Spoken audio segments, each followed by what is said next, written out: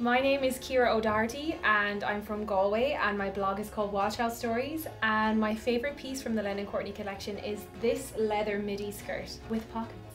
Um, I absolutely love it and it's really really comfortable and I love when things have pockets, I think it's so important.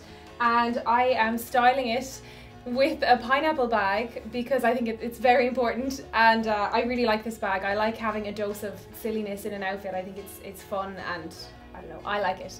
And just kind of like a graphic print tropical t-shirt. It's very Givenchy inspired and I like it. And a men's fedora hat, which I robbed from my boyfriend. Thank you, Joseph.